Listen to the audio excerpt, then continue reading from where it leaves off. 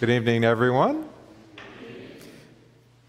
It's good to have you here. Our service this evening will be uh, as if it were Saturday evening, so Pentecost Eve. The, uh, our secretary, who's new, she's a little confused. She's like, So are we having church on Sunday night too?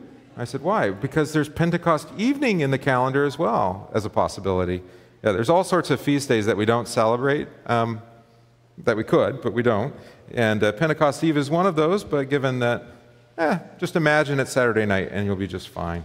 So this will help prepare you for Sunday morning as well. All right?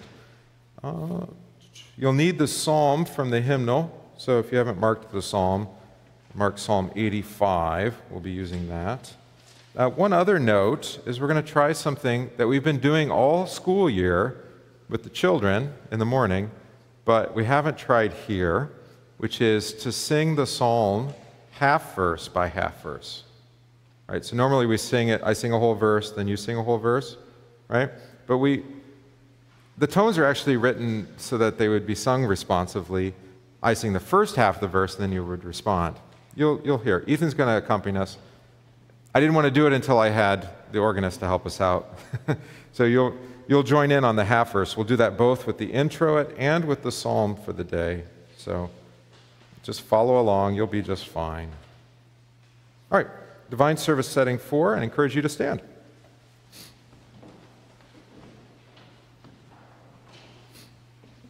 In the name of the Father, and of the Son, and of the Holy Spirit.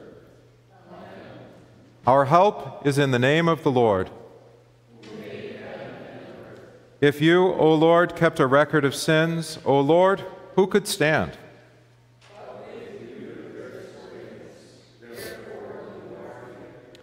Since we are gathered to hear God's word, call upon him in prayer and praise, and receive the body and blood of our Lord Jesus Christ in the fellowship of this altar. Let us first consider our unworthiness and confess before God and one another that we have sinned in thought, word, and deed, and that we cannot free ourselves from our sinful condition. Together as His people, let us take refuge in the infinite mercy of God, our Heavenly Father, seeking His grace for the sake of Christ, and saying, God, be merciful to me, a sinner. Almighty God, have mercy upon us, forgive us our sins, and lead us to everlasting life. Amen.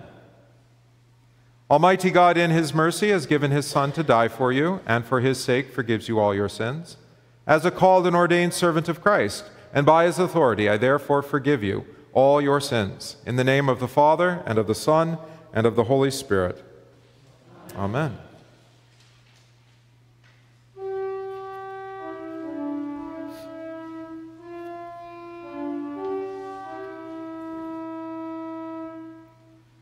Blessed be the Lord, who daily bears us up. Alleluia.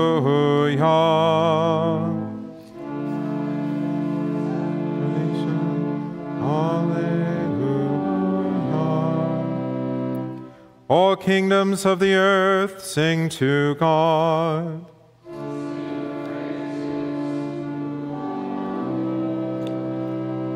To him who rides in the heavens, the ancient heavens.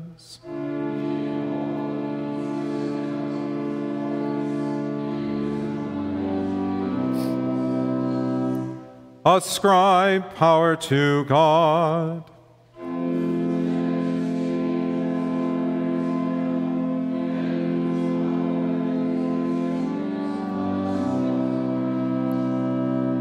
Awesome is God from his sanctuary. The God of Israel, he is the one who gives power and strength to his people. Blessed be God. Glory be to the Father and to the Son and to the Holy Spirit, as it was in the beginning, is now, and will be forever. Amen. Blessed be the Lord who daily bears us up. Alleluia. God is our salvation. Alleluia.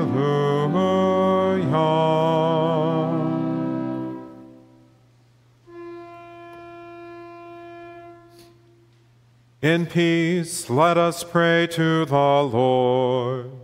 Lord, have mercy. Christ, have mercy. Lord, have mercy. For the peace from above and for our salvation, let us pray to the Lord.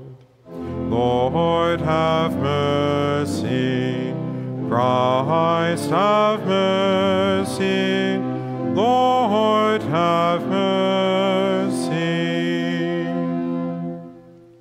For the peace of the whole world, for the well being of the Church of God, and for the unity of all, let us pray to the Lord. Lord, have mercy. Christ, have mercy. Lord, have mercy. For this holy house and for all who offer here their worship and praise, let us pray to the Lord. Lord, have mercy. Christ, have mercy. Lord, have mercy. Help, save, comfort, and defend us, gracious Lord. Lord, have mercy. Christ, have mercy. Lord, have mercy.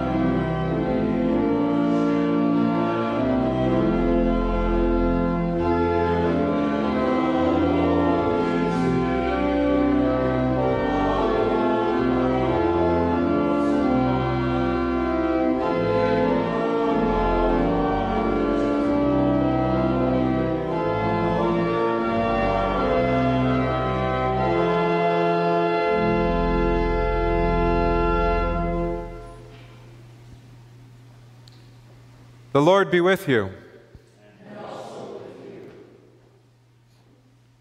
Let us pray. Almighty and ever loving God, you fulfilled your promise by sending the gift of the Holy Spirit to unite disciples of all nations in the cross and resurrection of your Son, Jesus Christ. By the preaching of the gospel, spread this gift to the ends of the earth. through the same Jesus Christ our Lord, who lives and reigns with you and the Holy Spirit, one God, now and forever. Amen.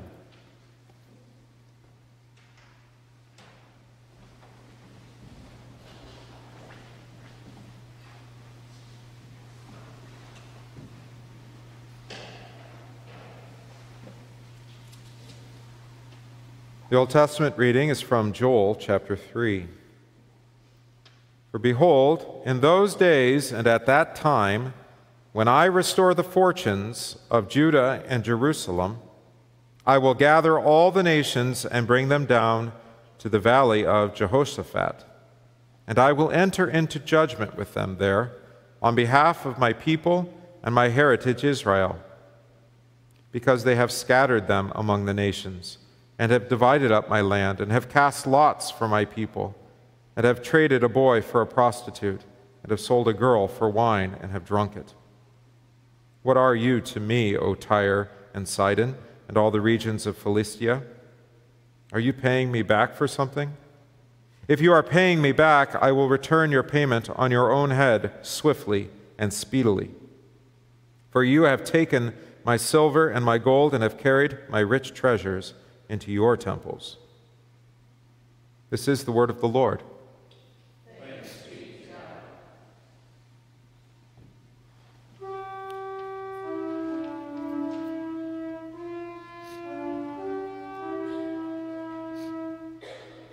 Lord, you were favorable to your land.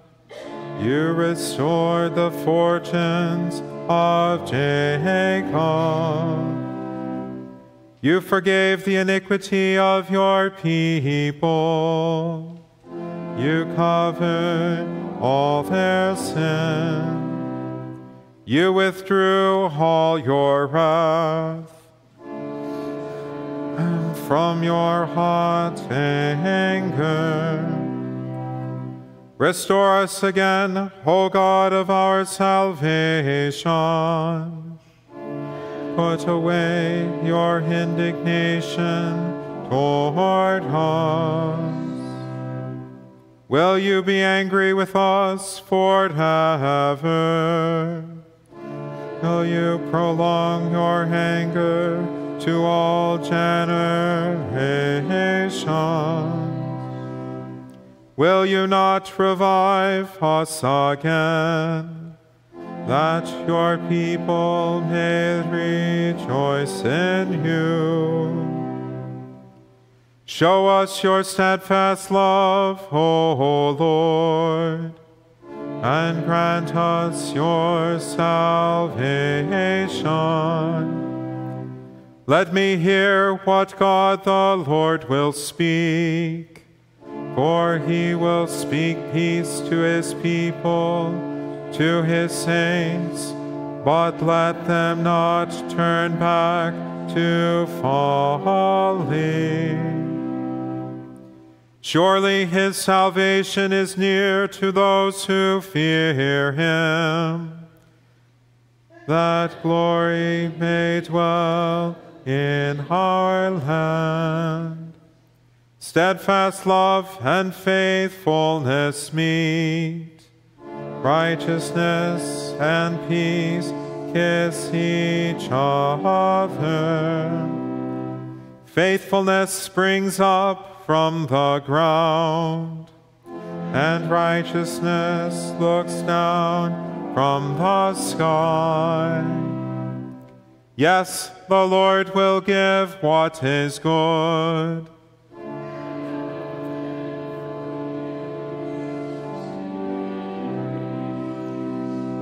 Righteousness will go before him and make his footsteps a way. Glory be to the Father and to the Son and to the Holy Spirit, as it was in the beginning, is now, and will be forever. Amen.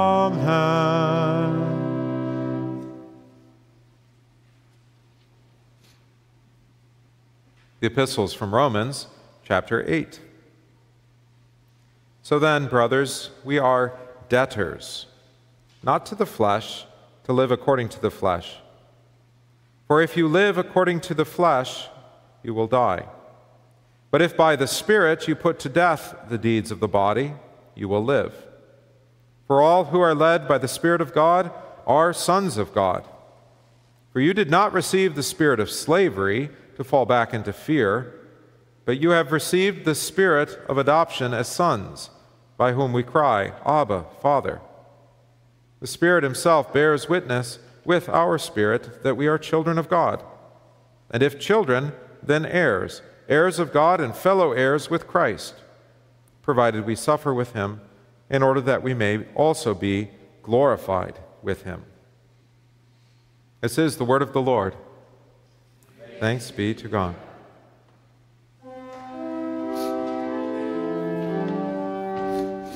Alleluia.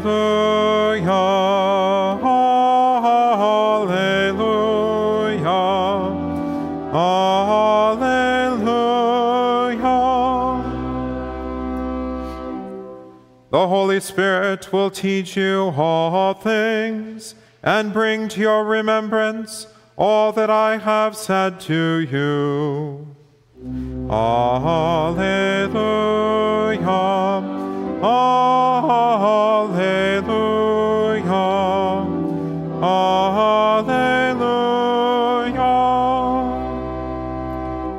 Come, Holy Spirit, fill the hearts of the faithful and kindle in them the fire of your love.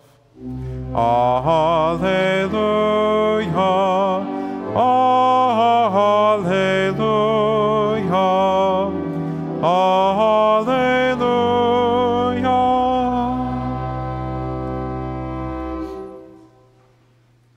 The Holy Gospel according to St. John, the 14th chapter.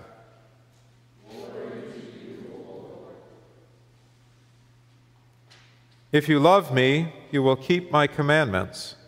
And I will ask the Father, and he will give you another helper to be with you forever, even the Spirit of truth whom the world cannot receive, because it neither sees him nor knows him.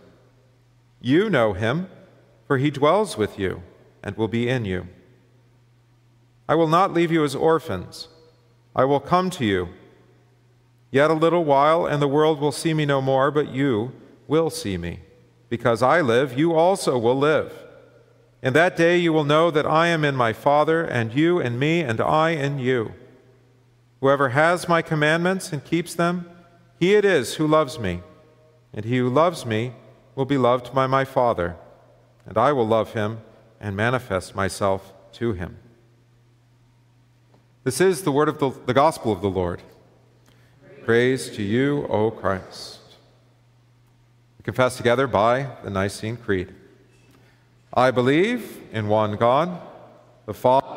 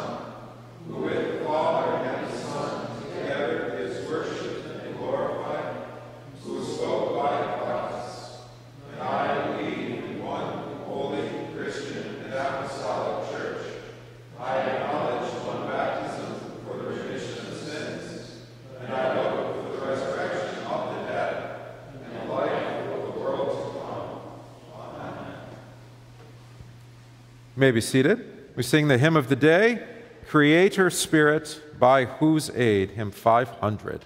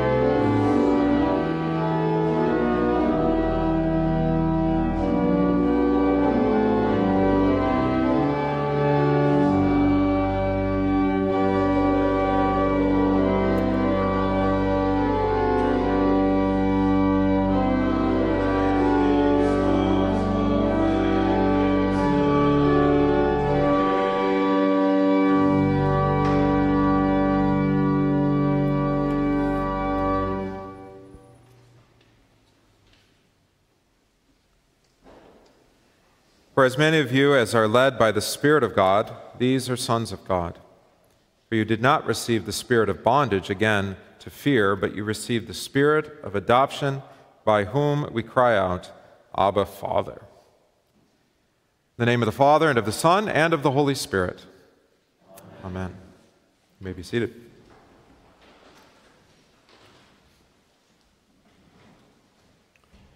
Jesus warns the disciples, and so warns you too, that there will be a time that comes when anyone who kills you will think that he's doing God a favor. And we heard on Sunday why. Because they hated Jesus without cause first. Jesus knows that everybody wants to cut him out because they want to live in their own little synagogue or church without him their little la la land where they can talk about love and do so without Him. Love this and love that. All you need is love, but not the love of Jesus.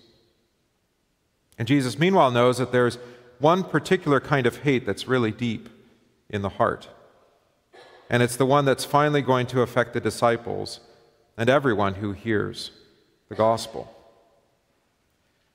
That's, so it comes down to what's really happening at Pentecost. What's going down at Pentecost is not just that the Holy Spirit is coming, it's why the Spirit is coming.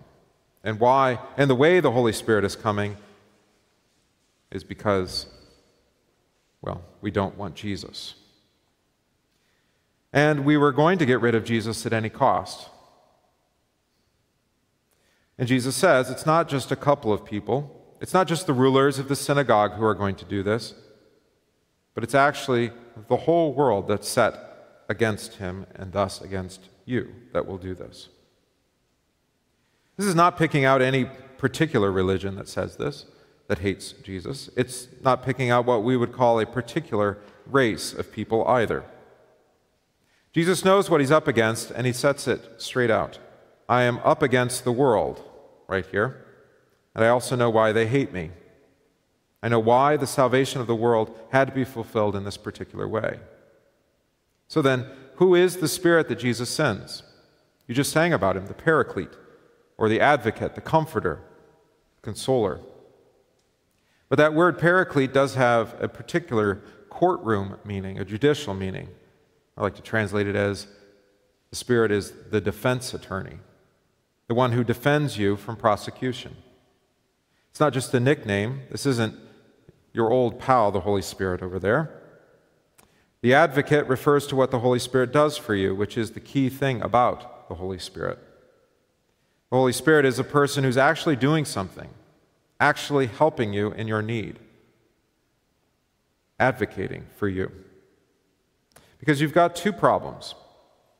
You've got other people hating you for what you say about Christ, and then, of course, you yourself, according to the flesh, don't like Christ either. So he says it. You will hate him.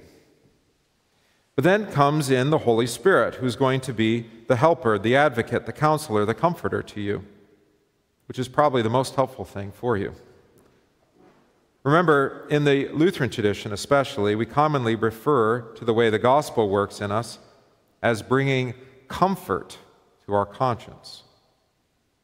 What we used to call, what the Bible used to call the heart, comfort to the heart, the comfort to our conscience. And the conscience, prior to the comfort of the gospel, is troubled, not at rest, not at peace.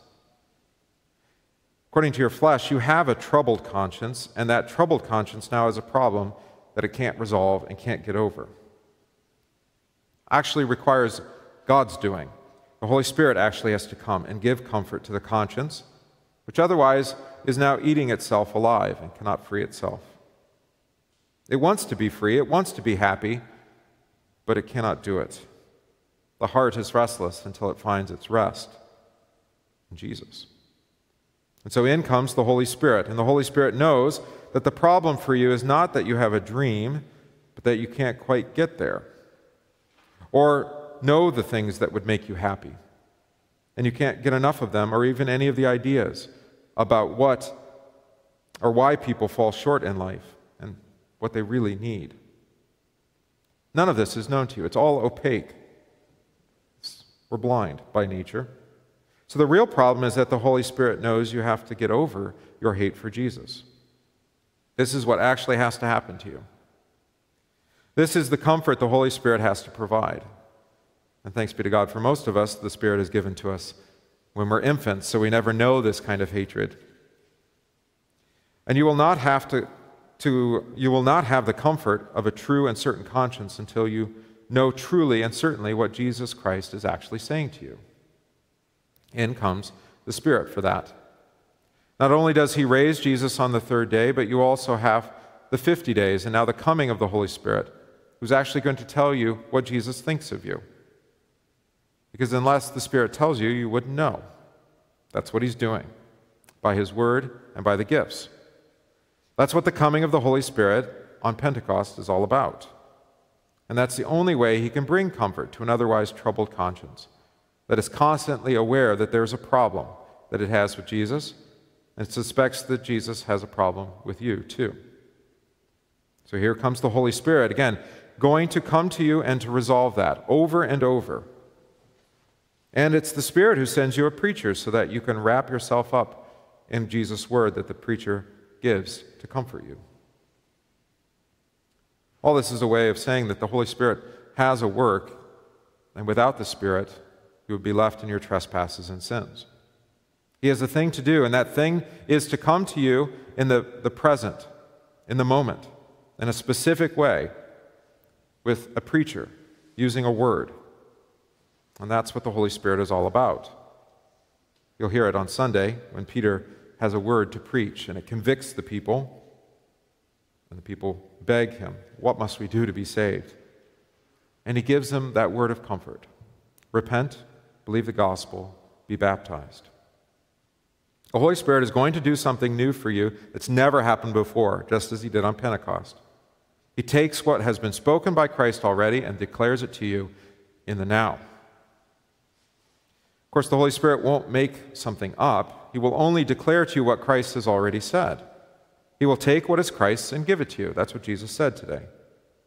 Like a big brother who robs from his little brother, the Holy Spirit has gone over and taken what's Jesus's so he can give it to you. But of course, this is what Jesus wants and what the Holy Spirit has come to do for you. Everything that the Father says about Jesus, the Holy Spirit takes and applies to you. And if He doesn't do this for you, then you would be left in your trespasses and sins. That is, your hatred of Jesus. And you would be without comfort because the only thing you would have left is the question why do I hate Christ? What did he do that's so problematic about him?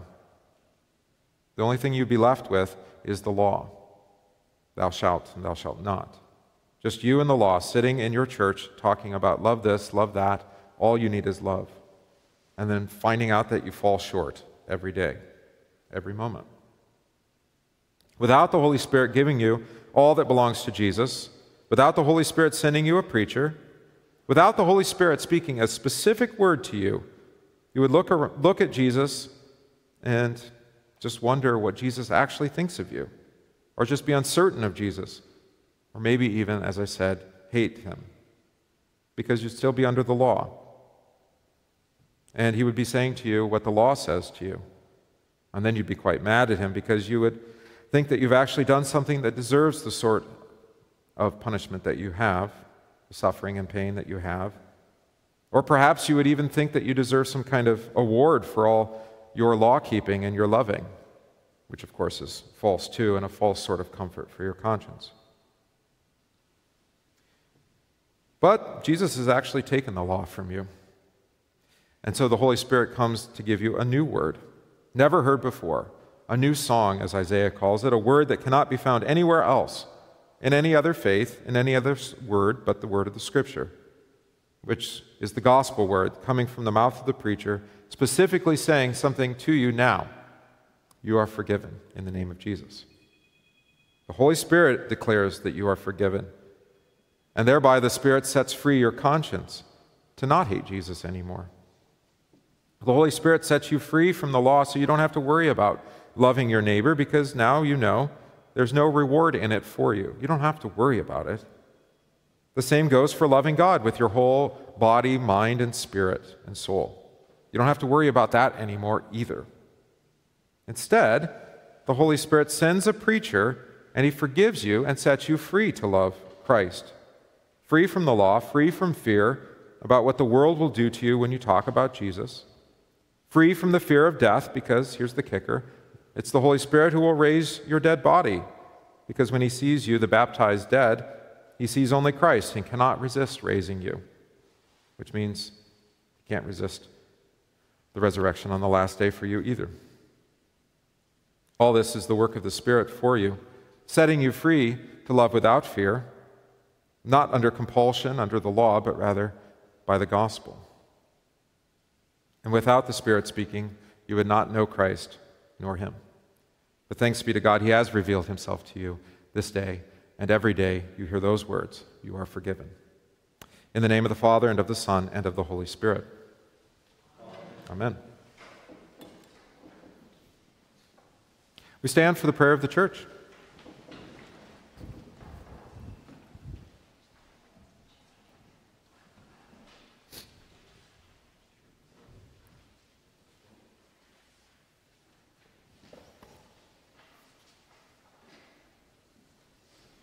Almighty, eternal, heavenly Father, who hast poured out thy Holy Spirit upon thy church, that he may abide with it forever, preserving it in the true faith of thy holy word, and enlightening it with the knowledge of Jesus Christ. Grant unto us, as we now call upon thy name, all such things as may be necessary for our salvation. We thank thee, O God, that by thy Spirit we have been called to faith in Jesus Christ, given power to believe thy word, and gathered into the fellowship of thy holy church. Sanctify us that we, purged of our sins and unrighteousness, may not or may be meet for the master's use and prepared unto every good work.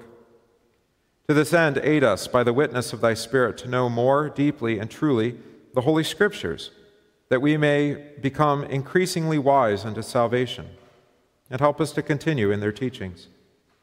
Enable us to flee from the prince of this world and to follow with all who serve thee in purity of heart the things that make for righteousness, faith, charity, and peace. Kindle in us a fervent desire for all that is good, all that is holy, and all that is true. Shed thy Spirit upon us that we may love Jesus Christ our Savior with all our hearts and minds, keep his words with a good conscience, and find in each day the blessed experience of his nearness and abiding presence. Let the sanctifying wisdom and power of the eternal Comforter descend upon thy church, that she may be strong in faith. Impart to her his sevenfold gifts of grace, that her elders may have bright hopes of the time when the earth shall be full of the knowledge of the Lord, as the waters that cover the sea, and when her young men and maidens may be granted inward visions of the holy triumphs of the gospel.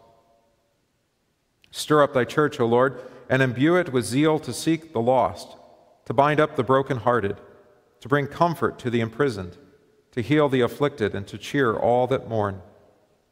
Give thy Spirit room in all homes, that he may lead every child who bears thy name into the paths of love and obedience. And endow every parent with an understanding heart and gentle ways, so that together the family may adorn the doctrine of our Savior with godliness and honor. Govern the nations upon the earth and help them to acknowledge thy power, dominion, and righteous judgment, so that they may turn from their evil ways and live. Give unto our land and all in authority firmness in the right and steadfastness and integrity, and be thou our shield and buckler. To all in trial or tribulation, the sick, the weary, the oppressed, the fearful, the needy, and the lonely, give the peace of Christ. Let their cry come unto thee, and grant them all things needful. These things and whatever else you know that we need, we pray in Jesus' name. Amen. I invite you to greet one another with the peace of Christ.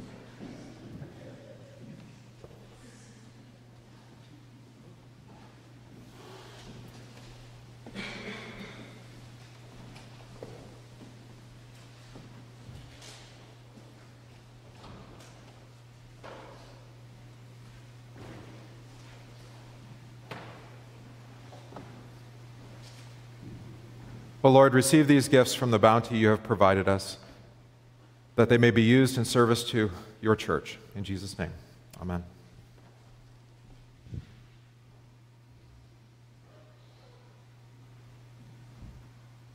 The Lord be with you. Lift up your hearts. Let us give thanks to the Lord our God.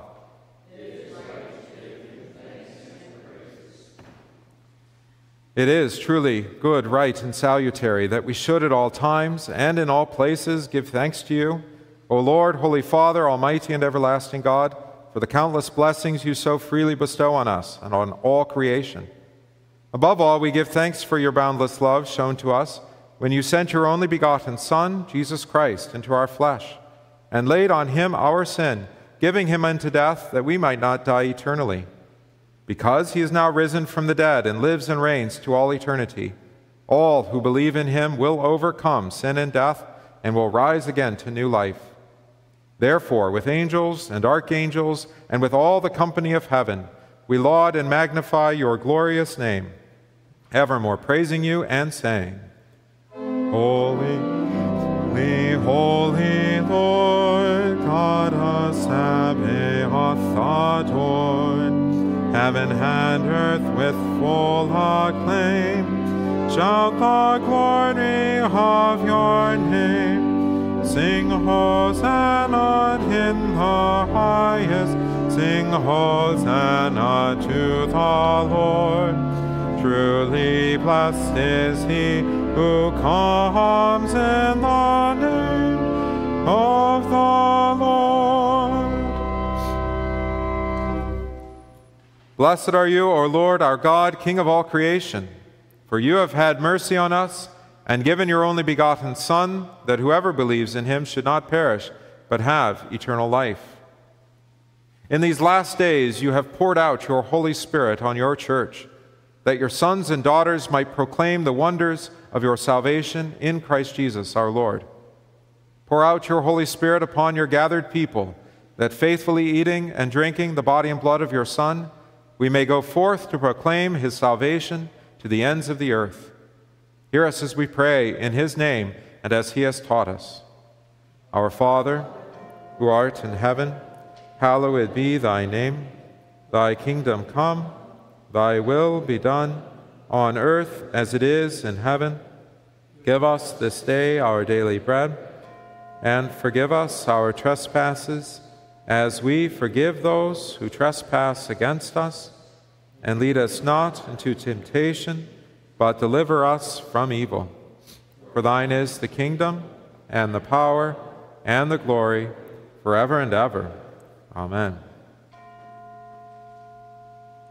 Our Lord Jesus Christ, on the night when he was betrayed, took bread, and when he had given thanks, he broke it and gave it to the disciples and said, Take, eat. This is my body, which is given for you. This do in remembrance of me.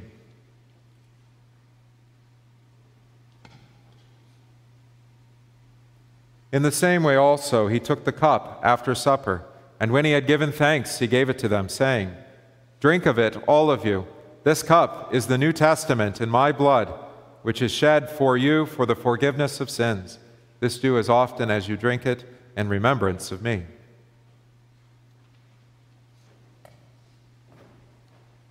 The peace of the Lord be with you always. Amen. blood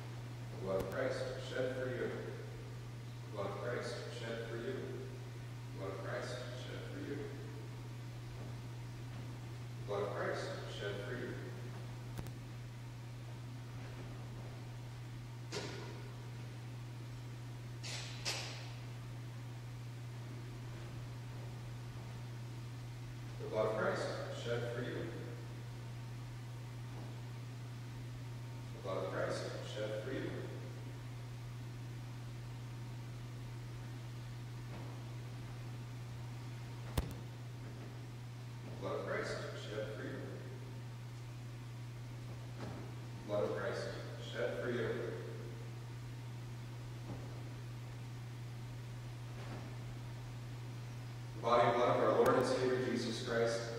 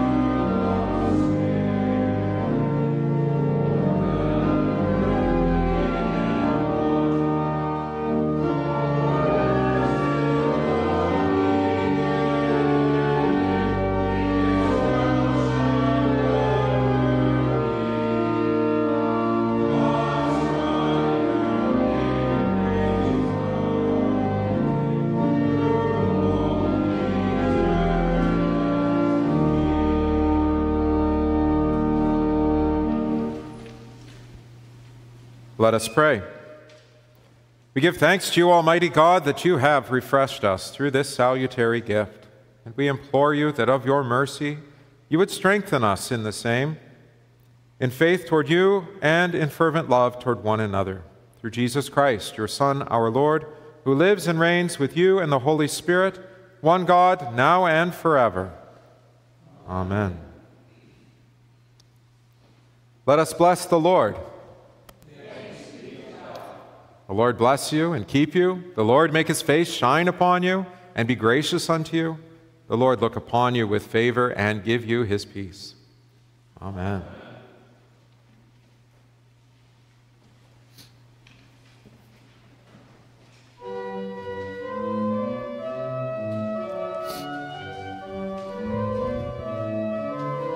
I guess I can greet people on the way out.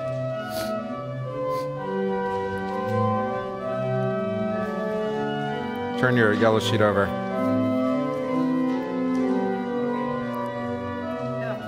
Did you see it? Mark your calendar. Yep, thank you. All right, good. You see the schedule change? Yes. Okay, good. Just half an hour earlier. Okay. All right, good night.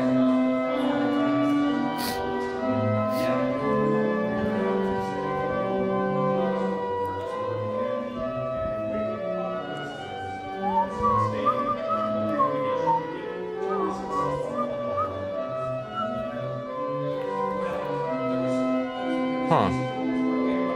Looking for something? The candle put her outer. I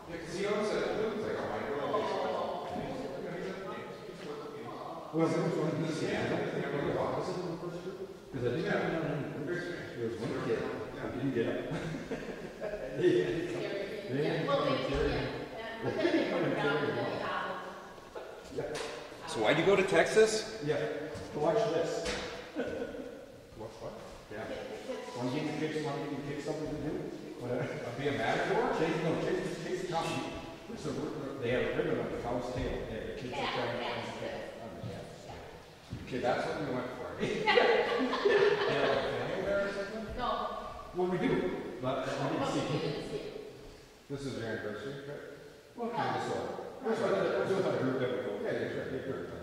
Was it twenty-six or something? Yeah, no, said if we would've got the mailing, we would've been along with you, but the post office Oh, down there. Yeah. That's true, across the line. Yeah. Yeah, so, It's already full. so we saw the Alamo, we Still saw got the the. marketplace like they are. Yeah, we went to the Riverwalk, we went to the Riverwalk and San Diego. I was, I was in San Antonio last, fall- last, no, last spring. in March or- Yeah, So it was a one hot day in Texas. And one hot wedding. And, and, yeah, it was not hot in Texas. Yeah, we had. Oh, in March?